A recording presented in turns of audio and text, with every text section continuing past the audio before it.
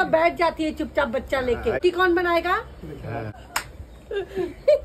Record भी कर नहीं भाई रोटी तो बनाना पड़ेगा नहीं तो मेरी कमर तो इतनी दर्द दे रही है कि पूछो मत।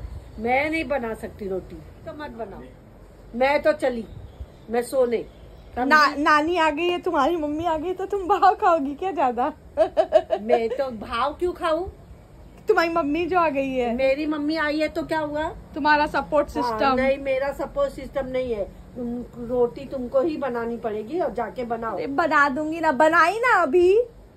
तो और बना देना। बना। से रोटी की ज़िम्मेदारी तुम्हारी मेरी नहीं।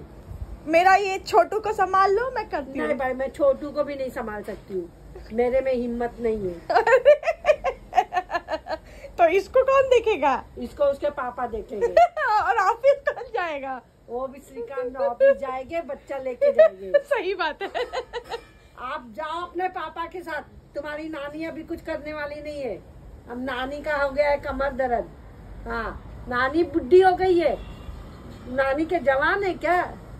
नहीं नानी बुढ़ी हो गई। चल बाय